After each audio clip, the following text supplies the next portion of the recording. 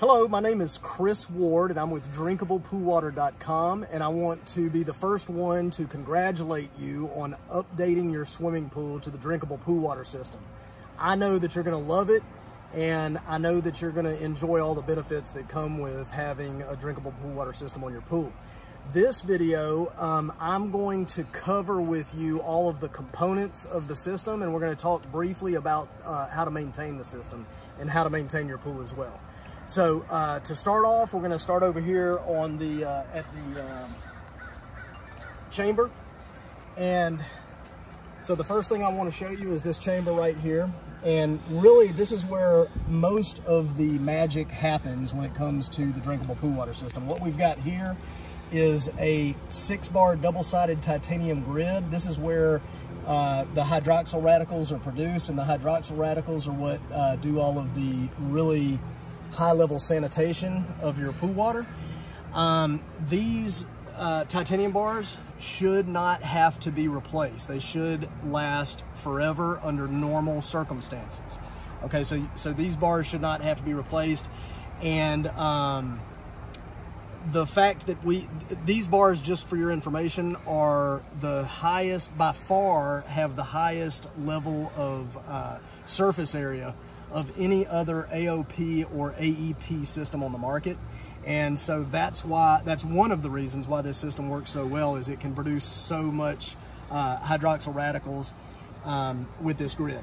So anyway, you've got the titanium grid here. Right below this is the copper bars and these copper bars are two to three times the surface area of most uh, copper bars on the market today. And so this is just one other area where their system shines. These copper bars are going to give off copper ions in the water and um, these are what produce the residual killing effect in the water. They do wear out. They're like brake pads on your car. They're, they're meant to wear out over time and they're rated for 10,000 hours of use, which uh, for most pools, that's gonna fall within the year and a half to two and a half year range. So roughly every two years, you'll need to replace these uh, copper bars. Um, pricing is available on our website or pricing is available through your certified installer at whatever local area you're in. Um, so within this chamber, you have both the titanium grid that generates the hydroxyl radicals and you've got the copper bars which generate the copper ions. And then right next to it, we have the high exposure time ultraviolet light chamber. This is where the water passes through and is, exposed to the ultraviolet light, which basically uh, damages all of the biothreats in the water at the DNA level, preventing them from being able to reproduce, which is an important component uh, so, so far we've got titanium hydroxyl radical production, copper ionization, high exposure time ultraviolet light. These three things working together sanitize your pool really, really well. You take away one of these components and the efficacy of the system drops. Drinkable pool water system has all three of these uh, as standard.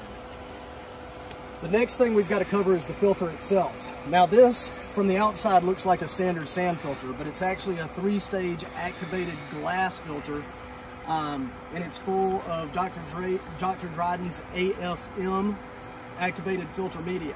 Not to be confused with Dr. Dryden's Activate media, completely different uh, media, and AFM is uh, uh, mandatory component of a drinkable pool water system. So um, inside here is not sand, it's actually three-stage activated glass, but the function of this works the same uh, as a sand filter. So backwashing and rinsing this um, is going to be the same as backwashing and rinsing a sand filter.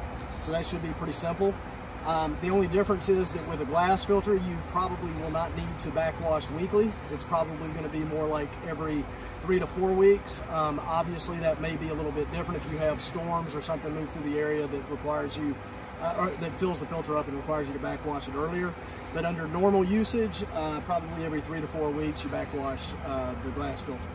Also, when you backwash the glass filter, you're not going to have to backwash as long as you normally do with a sand filter because the glass media will tend to clean a lot easier than the sand does.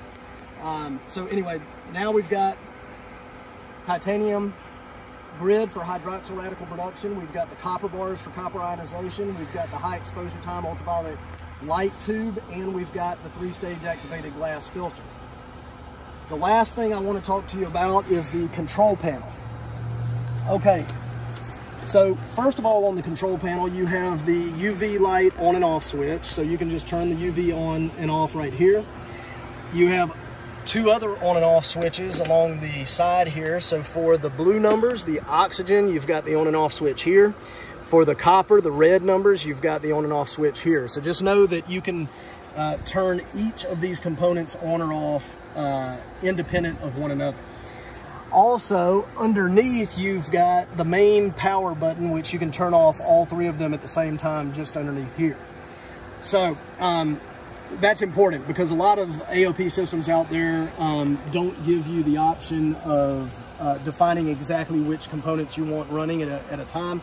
And the reason that's important, well, there's several reasons, but one of the main reasons is that especially on new pools, when you're, you know, uh, using chemicals to cure the liner, the new liner, or using chemicals to cure the new plaster, you may you'll be running this system with only the UV on and not the uh, uh, copper and titanium bars uh, turned on during that curing process. So that that that's important.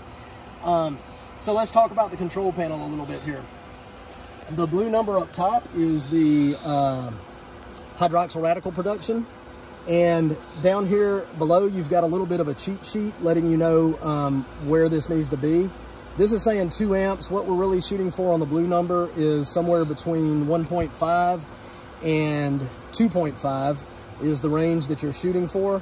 This number is actually a little bit low. We've just tested the water in this new uh, this uh, pool with a new pool liner and the hardness is actually at about 50. We're going to raise that up. Um, we're going to put some calcium in there and raise that number up to get this number um, more accurate. But uh, just know that if, if that number is low when you first crank up, it's usually due to the fact that the hardness level in the pool is not within range uh, as indicated on the cheat sheet that's included in the box. Okay, so hydroxyl radicals, what you're shooting for is 1.5 to 2.5. And in order to hit that number accurately over time, you need to make sure that the hardness level in the water is correct based on the cheat sheet in your uh, that came with the system. The red number um, is the copper ionizations, uh, excuse me, the copper ionization. And what we're shooting for there is two to 400 milliamps. So this is rated in milliamps. And um, the maximum you want is 400, but we have learned over time of using this system that um, anywhere from two to 400 milliamps is generally going to be producing enough uh, ions uh, to, to give you the residual killing effect that you need. One thing I want to, well, first of all, the, the blue number you can change with this dosing knob here. You can turn it uh, down and you can turn it up. Right now we've got it all the way up, but because the water hardness is not where we need it, it's not it's not raising. But once we raise the water hardness, this number will go up. Uh, the ion dosing is the same. You can change the red number by turning this up and down. This is a way to get really um, uh, specific about the number that you want. You can raise it just a tiny amount or lower it just a tiny amount with this dosing knob. The ionic program, what this is, um, this is how you define how much uh, charge you want to send to the copper bars based on time. So for example, at 100%, it's gonna send millivolts to the copper bar 100% of the time that the pump is running. Okay, but if let's just say that you wanted to take the amount of ionization that you're putting into the pool and cut it by half, you could do that by simply turning this down to 50%. And what that's gonna do is, is 50% of the time that the pump is running, it's going to be uh, giving a millivolt uh, or sending millivolt amps to the copper bars just for 50% of the time and not 100% of the time, regardless of what your ion dosing is set at. It'll only be giving that amount of ion dosing 50% of the time. So that's just a easy way to remember. So the uh, ionic program allows you to adjust the copper ions going into the water in large uh, numbers and the ionic dosing allows you to dial it in a little bit more specific in smaller numbers. So that's it for this video uh, covering the components of the system. I'm gonna shoot another video explaining how to maintain the system and how to maintain your pool. Thanks a lot.